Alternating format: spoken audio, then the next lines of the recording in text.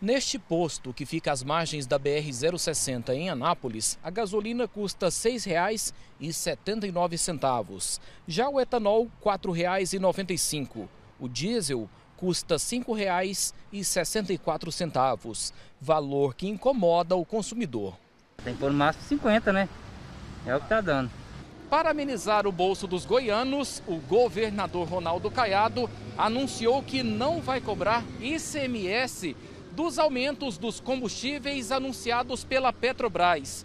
O comunicado foi feito pelas redes sociais. O governador destacou que votou favorável à proposta de congelamento do ICMS por três meses no preço dos combustíveis. O congelamento foi aprovado pelo Conselho Nacional de Política Fazendária. Esse economista explica como essa manobra vai funcionar na prática. Nós teremos então a previsão de que não vai haver mais aumento e de que o preço do ICMS será calculado em cima do valor próximo de R$ 6,50 para a gasolina, bem abaixo do valor que está sendo praticado na maioria dos postos de gasolina hoje.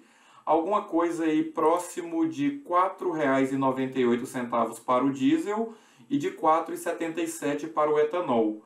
Então, isso vai fazer com que não vai fazer o preço da gasolina em si abaixar, mas diante de novos aumentos, pelo menos nós não vamos sentir mais um repique desses aumentos causados aí pela atualização da pauta do ICMS. Ainda nas redes sociais, o governador destacou a importância dos postos de combustíveis fazerem a sua parte, porque tudo que estiver acima desse preço deverá ser prestado contas à população e não irá admitir abusos. Esse ano eu não sei nem quantos aumentos teve. Quando a gente pensa que vai parar um pouquinho, já aumenta de novo.